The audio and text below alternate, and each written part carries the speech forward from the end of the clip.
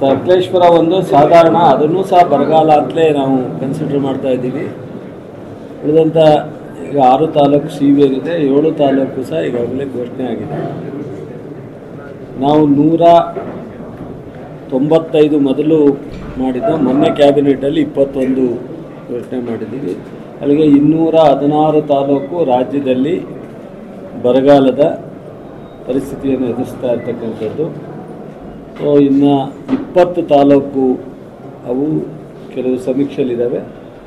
Next first ವೀಕ್ನಲ್ಲಿ ಅದನ್ನು ಒಂದು ರೌಂಡ್ ಮೀಟಿಂಗ್ ಮಾಡ್ತೀವಿ. ಗ್ರೌಂಡ್ ಫ್ಲೋರ್ ತರಿಸ್ಕೊಂಡು ಏನಾದರೂ ಅದರಲ್ಲಿ ವೇರಿಯೇಷನ್ ಬಂದರೆ ಅದನ್ನು ಸಹ ಡಿಕ್ಲೇರ್ ಮಾಡ್ತೀವಿ.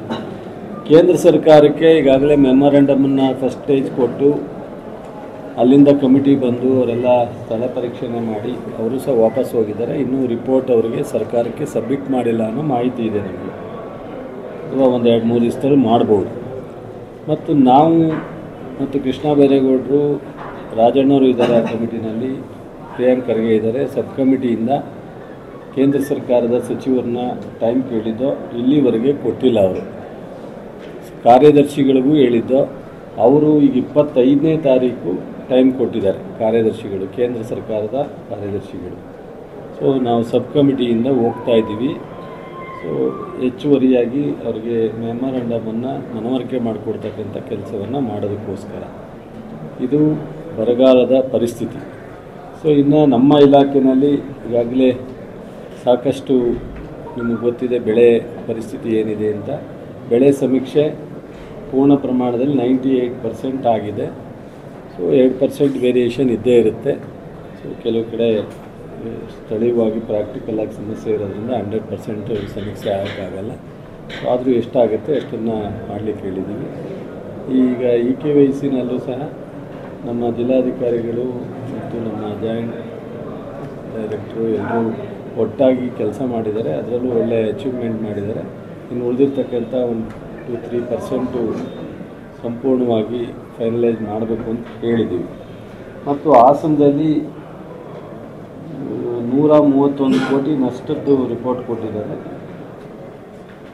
ಇಡೀ ರಾಜ್ಯದಲ್ಲಿ ಐದು ಸಾವಿರದ ಚಿಲ್ಲರೆ ಐದು ಸಾವಿರದ ಇನ್ನೂರ ಮುನ್ನೂರು ಕೋಟಿ ನಾವು ಸೆಕೆಂಡು ಅಡಿಷನಲ್ ಮೆಮೊರಂಡಮ್ದಲ್ಲೆಲ್ಲ ಸೇರಿಸಿ ಕೇಂದ್ರ ಸರ್ಕಾರಕ್ಕೆ ಸಬ್ಮಿಟ್ ಮಾಡಿರ್ತಕ್ಕಂಥದ್ದು.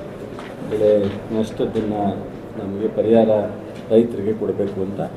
ಸೊ ಎಷ್ಟು ಅವರು ಅದ್ರ ಬಗ್ಗೆ ನಮಗೆ ಕ್ಲಿಯರ್ ಮಾಡ್ತಾರೆ ಅನ್ನೋದನ್ನು ನಾವು ಈ ವಾರದೊಳಗಡೆ ಬಹುಶಃ ಮೂವತ್ತನೇ ತಾರೀಕು ಒಳಗಡೆ ಬರ್ಬೋದು ಅಂತ ನಿರೀಕ್ಷೆ ಮಾಡಿರ್ತೀವಿ.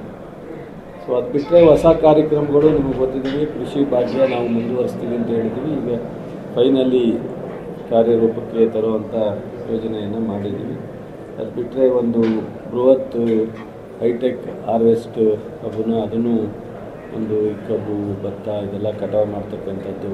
ಅದು ನವೋದ್ಯಮ ಅಂತೇಳಿ ಒಂದಷ್ಟು ಇದೆ ಮತ್ತು ಎಫ್ ಇ ಒಗಳಿಗೆ ಕೊಡ್ತಕ್ಕಂಥ ಸಾಲ ಅದನ್ನು ರಿಯಾಯಿತಿ ಬಡ್ಡಿ ಇವೆಲ್ಲ ಏನು ಕಾರ್ಯಕ್ರಮಗಳನ್ನ ನಮ್ಮ ಇಲಾಖೆಯಲ್ಲಿ ಮಾಡೋಕ್ಕೆ ಸಾಧ್ಯನೋ ಅದನ್ನೆಲ್ಲ ಮಾಡ್ತಾ ಹೋಗ್ತಿದ್ದೀವಿ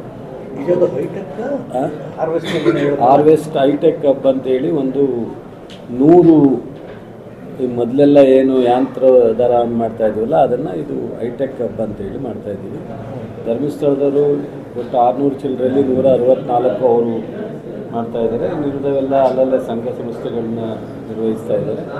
ಸೊ ಅದೇ ಥರ ಇದು ಏನು ಏನು ಮಾಡೋದು? ಅದು ಕಬ್ಬು ಕಟಾವು ಮಾಡೋದಕ್ಕೆ ಭತ್ತ ಇದರದೆಲ್ಲ ಹೈಟೆಕ್ ಕಬ್ ಅಂತೇಳಿ ಅದಕ್ಕೆ ಒಂದು ಹಂಡ್ರೆಡ್ ಕಡೆ ನಾವು ಮಾಡಬೇಕು ಅಂತಿದ್ದೀವಿ. ಅದನ್ನು ಗೈಡ್ಲೈನ್ಸ್ ಮಾಡಿಬಿಡ್ತೀವಿ. ಅದನ್ನು ಜಿಲ್ಲೆಗೆ ಯಾರ್ಯಾರು ಈ ಥರದ ಪ್ರಮುಖವಾಗಿ ನಡೆಸ್ಕೊಂಡು ಬಂದಿದ್ದಾರೆ ಅವರು ಅದನ್ನು ತಗೊಂಡು ಮುಂದೆ